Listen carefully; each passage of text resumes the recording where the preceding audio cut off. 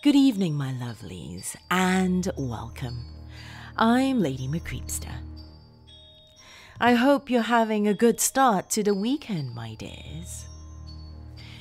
To make it just a little bit more disturbing, here's a tale for you from Creepypasta Wiki called Chakra. Come now, my dears. Lean in closer, and we'll begin.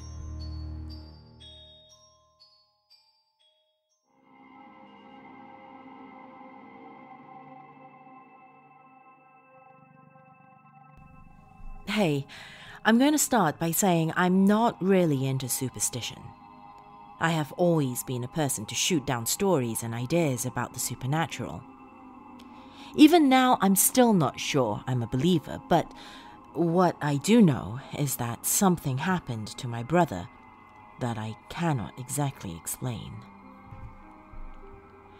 My brother Bill isn't exactly the most normal person in the world. He's a borderline schizophrenic, so he can get a bit odd at times. Like saying he sees weird stuff and randomly talking to himself, so my mother put him on medication. Don't get me wrong, I love my brother to death, and I guess he's a great kid. He just gets annoying with certain things. He's obsessed with weird stuff, like dreams, and meditation. The last 11 years, he has kept journals religiously. What you are about to read is his final journal entry. I have not edited, changed, or fixed anything about this entry. For personal reasons, I will leave the dates of this incident out.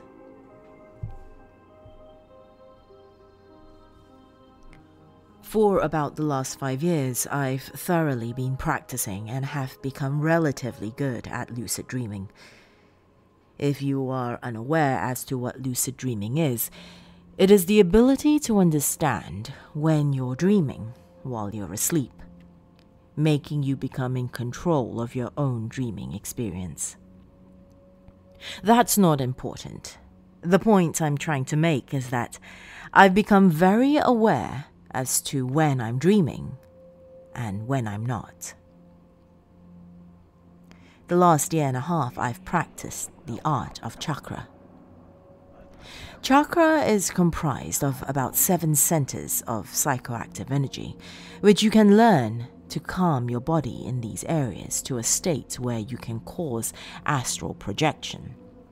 Or, in other words, have an outer body experience on demand.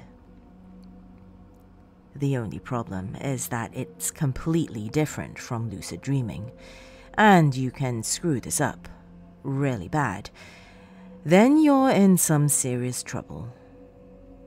I'm sure some people have seen the movie Insidious. While some found it pretty scary and some found it stupid, the movie offers one concept that is very scary. The little boy in the movie projects himself too far can't make it back to his body, then goes into a coma. But the scary part is that can actually happen when you project too far out of your boundaries. That part of the movie is eerily true. When you project, all of your senses are heightened significantly.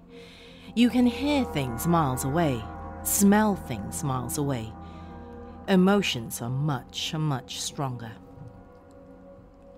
When I used to project, I would do it during the daytime while I was in a happy state of mind, usually in a well lit room where I could focus and not feel too confined. The farthest I've made it was about four feet from my body. While that sounds lame and all, it's actually very invigorating and exciting. It's almost as if you can feel your body being lifted out of itself, only to be a better feeling version of yourself. I became obsessed with it and kept practicing. Then one night, I wandered a bit too far out of my boundaries and I witnessed something that I will never forget. I tried doing it at night for a change before I went to sleep, while I was incredibly depressed about an issue I'd rather not get into, but I decided to do it anyway. I started off in my computer chair in my room around midnight. Sometimes it can take a very long time before you can project properly. I put myself into complete relaxation. I felt my body numbing itself slowly from my forehead all the way down to my toes. After about 45 minutes, I started to feel myself lift. I became lighter, my problems went away. I felt like I was completely high off life. I was in a completely different state of mind. I floated in front of my body to where I could see myself sitting in my computer chair, with my schoolbooks scattered all over my desk after my pitiful attempt to complete my statistics homework. Then I started to move towards my back wall, reaching about roughly four feet from my body. So I decided to go farther and outside the wall of my room to the pouring rain outside. I've never travelled outside, but I know the farther you move away from your body, the less control you feel you have. It's almost as if your power to move yourself becomes more and more depleted. Depending on the person who is projecting and how experienced they are, time can either move much slower or much faster. In my case, since I'm not exactly qualified as experienced, time moves significantly faster for me. If you can picture a stopwatch, the speed at which seconds move is about the time it takes minutes to change for me. I looked peaceful sleeping, our Great Dane lying next to my chair. By this point in the night, all the lights in my house were out and everyone was asleep. Then, something incredibly horrifying happened. I saw a tall man enter my room very slowly. I did not recognize him at all. He was an old, sickly looking man with white hair and was dressed in a full black suit. He walked into my room and stopped right in front of my computer chair where I was sitting. My dog woke up immediately. My first thought is this guy must have broken into my home. My dog is going to go nuts. No. What happened was the complete opposite that informed me that if something wasn't seriously wrong already, now it was.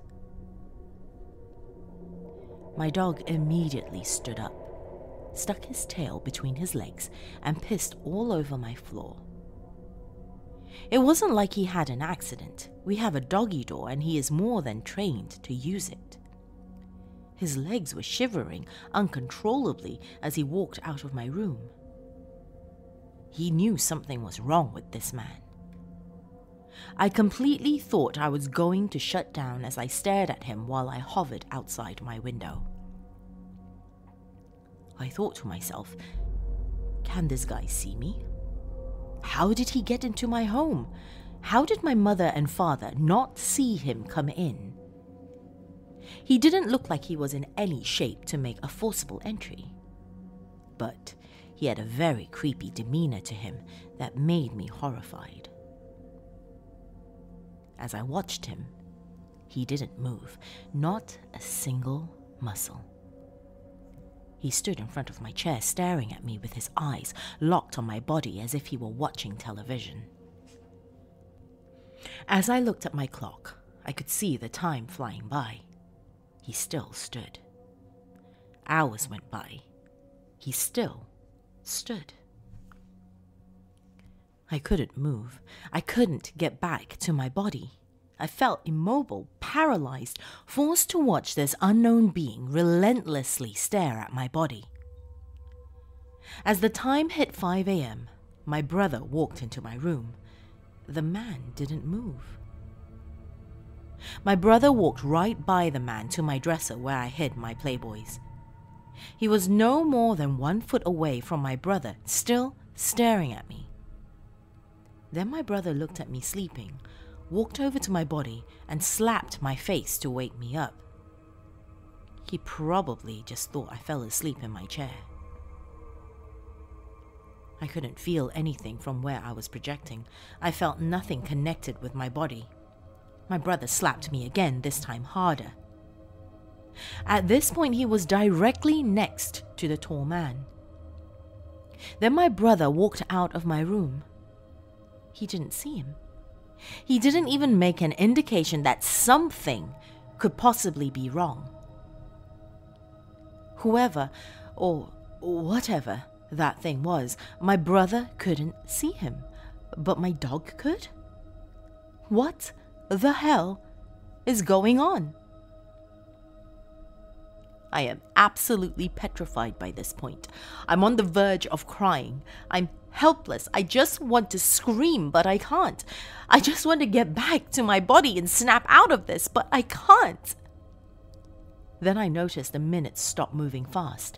They stop at 6:12 a.m. Then I could feel the rain stop. What's going on? I still can't make my way into my room, so I can't be snapping out of it. Then all sound stops. Completely. I can't hear anything or sense anything, as if you were to put a television on mute. The man turned very slowly and looked directly at me through the window, as if he knew I was there the whole time. He was hideous now that I could get a better look at him. His hair was disheveled, his eyes looked sucked back into their sockets. His face was full of old wrinkles and scars. His eyes locked with mine, and he smiled. Not a happy looking smile, the type of eerie smile that comes to stretch from ear to ear with a sort of demented meaning to it. Then he put his finger to his mouth to shush me. Then he turned and walked out of my room slowly with the door closing behind him, without him touching it. The next blink I took, I was shoved back into my body and jolted up like I'd been hit with a shot of adrenaline. I ran out of my room to try and catch the man. Nothing. I checked my whole house. Nothing. I thought immediately that it was a dream, an incredibly vivid dream, until I walked back into my room and stepped in something wet, then smelled it. It was urine. I froze with shock. I didn't know what to think. I went to see if my magazines were missing from what I remembered. I checked my dresser. It was gone. That's when I noticed, next to my homework, a piece of paper I didn't recognize. I picked it up. The wording was a bit scratchy. It read, You'll be with me soon enough. The sights of hell bring its viewers back in. I can't tell anyone about this. I think I'm finally losing it.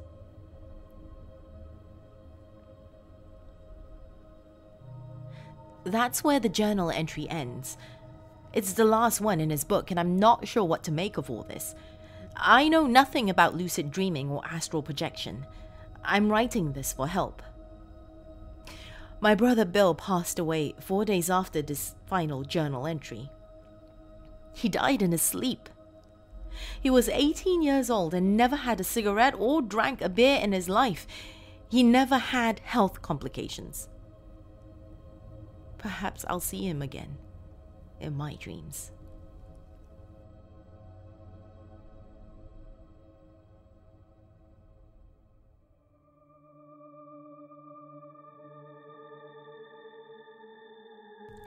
Thank you for joining me this evening, my lovelies. I would like to thank every single one of my dark family on Patreon. Your support really does mean the world to me. I know I say this all the time, but it really does help keep this channel and this podcast going. So do know I appreciate all your support. If you would like to join my family on Patreon, go to patreon.com slash ladymcreepsta. For as little as a dollar a month really does go a long way. To those of you who would like to say hello, please look for me on social media. I am Lady MCreepsta on both Facebook and Twitter, and now also on Instagram. If you've just stumbled upon my realm, my dears, be sure to hit subscribe, and if you found me on YouTube, hit that bell icon as well to get notifications of new uploads. I hope to see you again soon, my lovelies. Till next time, sweet dreams.